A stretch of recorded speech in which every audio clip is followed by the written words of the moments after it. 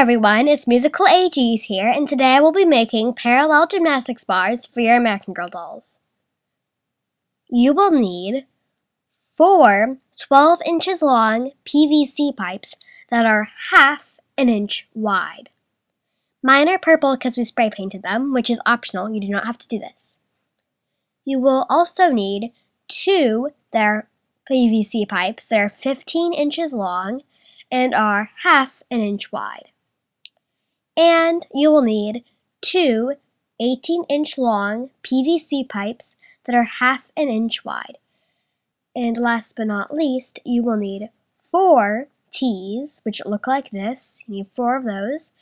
And four elbows, which look like this. First, we'll get two 12 inch PVC pipes that are parallel from each other, and you'll put the T's at the end. So you use all the four T's, and they have to be pointing up. Then you're going to put the other 12 inch PVC pipes on one of the sides, like that. You'll also put the elbows on the top and then put the 15 inch long PVC pipe in between them. That is going to be your tinier bar. To make the bigger bar, you'll get the two 18 inch bars, and it's going to be a little unstable in the beginning when you're making this.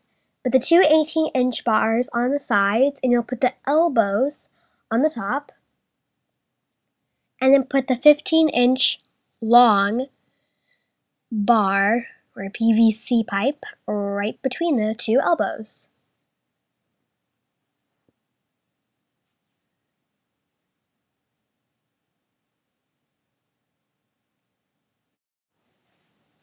If you're going to spray paint your gymnastics bars for your American Girl dolls, you should spray paint them after you put it together.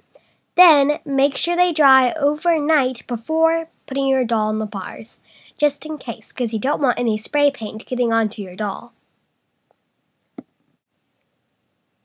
To make American Girl doll grips, you're going to get a hair you're going to need two hair bands, and that's it. So what you're going to do is you put your hairband down in half like this. So there's a hole through these hairband. So you have room for the doll's hand. So you make it kind of wide. And then you're going to place the doll's hand inside. And then once it's inside like that, you do like a backwards arm circle with your doll. With her hands, with her like arm, it soon goes all the way up to there. And so you put up there and then you pull down.